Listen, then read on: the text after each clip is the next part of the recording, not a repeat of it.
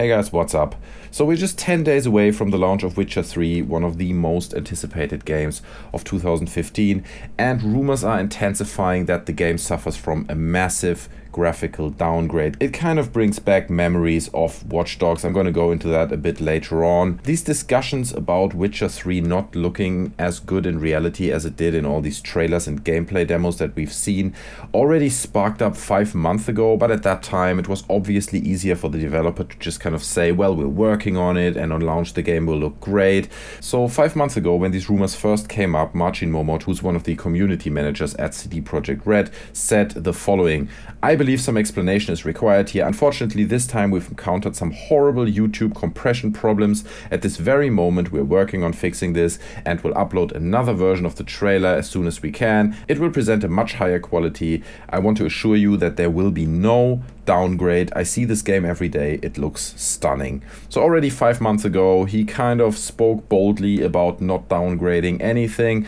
But then just yesterday, I saw the Conan O'Brien plays The Witcher 3 review thing that he does, like this Clueless Gamer thing. I'll put the link down in the description in case you haven't seen it. And already then, just looking at that gameplay, I think it was on Xbox One. Uh, it was on one of the consoles, Xbox One or PS4, I'm not sure, but it already looked quite washed out. The textures looked flat, and the faces just didn't really look like they did in the trailer. I was expecting a bit more of it, but I didn't think too much of it at that point. But then, just today, I read all these news, and apparently, I'm not the only one who saw that. And a lot of people are just really flagging up that they are sharing the same concern. So, over the last years, quite a few gameplay demos have been shown, and some fans actually went through the effort of comparing those with recent footage and trying to find like same scenes, same areas in the game that you can actually compare. And they uploaded a whole gallery of images where they compare these demo footage shots with actual footage that just now came out of the apparently final version. I'll put the link to the full gallery down in the description as well so you can have a look by yourself. But let's look through some of these screenshots and just really see what it's all about. So here's the first one. And when I first looked at it, I thought, yeah, well, that must be a different area, right? Like a different area in the game. But then you actually compare the buildings, and it is pretty much exactly the same position in the game. Like if you look at the buildings just down there in that village, it's exactly the same. The building there on the left, then the big building in the center, small one in front of it, you can clearly see that the whole game has a different color wash. CD Projekt has specifically said that they have changed the colors of the game post some of the trailers and gameplay demos that we've seen because they felt it didn't fit too much into the series of the previous Witcher games, which always were very, very colorful, so you have to give them that. But it's not only the colors, it's the whole detail great. Like if you just look at the bottom left of both of these images, you can see a lot of detail on the top image and like next to no detail and just really washed out and flat textures on the bottom. The same counts for the background, the, the viewing distance, right? If you look at the top image, look at the detail, the crisp detail of these mountains in the distance, not even talking about the sky map. And and then underneath it's it's literally just a very, very flat line. The bottom image doesn't even look as good as The Witcher 2, I find personally. Let's look at the second image, and that's something that I also noticed in the Conan O'Brien gameplay video. He's shooting these kind of flames out of his hand, and it looked already in the gameplay video quite flat. I mean, look at the top image, how moody everything is. In the distance there, this little path that leads deeper into the forest, right? It just has all that depth and you, you can really get the impression of the moonlight on the top image. On the bottom, again, it looks just really, really flat and washed out, which is not ideal, I guess. Keep in mind that the Conan O'Brien footage was the apparently, I mean, obviously, we're 10 days away from release, the final version that runs on the consoles. So while the bottom image doesn't look really bad, like I don't want to make it look like it's terrible or anything, but it just doesn't really live up to what the top image and all the gameplay demos that we've seen before promised, really. The next image is a little less bad. I feel he's walking through some kind of swamps here. And this is just really something where you can see the details if you zoom in. I mean, obviously on the screen, I put these two images next to each other so you can compare them directly. But let's just zoom in a little bit more and look at the top image on the bottom left corner. You can see the beautiful reflection there on the water all the detail on the on the trees right? It just looks absolutely gorgeous and the amount of detail is, is stunning and that's what everyone i think expected from the witcher 3 and now looking at the same part of the image of the recent screenshot and you can see all the detail of the reflection on the water even the detail on the trees. Like it looks like they reworked the whole scene and took out objects because if you look at the whole image again it is the exact same scene. On the bottom image, he seems to be a bit closer to the house there, uh, but the island that you see on the left, I mean, you can see probably some kind of tombstone there on the left. Like all that detail is just gone. It, the trees seem to have loads of little twigs and like depth of detail on the top image, while on the bottom, there's just not that much left of it.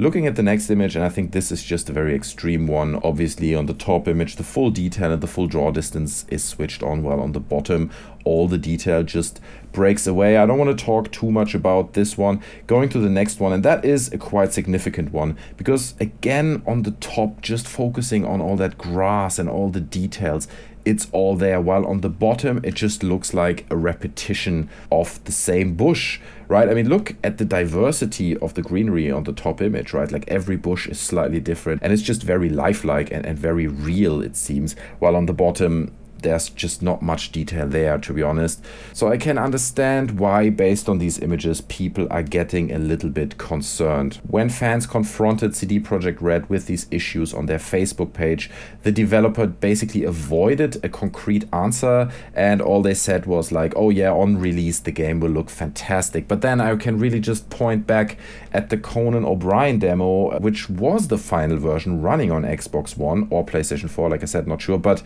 it was the final version and it really didn't look that great. Now, one thing that we have to keep in mind in this whole story is that all these images that are used in the comparison we don't know how they were made. It might be a low detail version on the PC where all the details and the drawing distance have been turned down. Other elements play into it as well, like video compression on YouTube. It's just a gameplay video, that's all we've seen. Weather conditions, there are some changing weather conditions in the game, so that might be the reason why the grass looks greener in some images while it looks a bit browner in other images. And I can really see how that kind of explains some of the stuff we just looked at, especially the one with the mountains in the distance, right? If, if you remember that one, basically there were just a few flat lines. That is something that can be done, you know, just by reducing the draw distance and then you get an effect like that.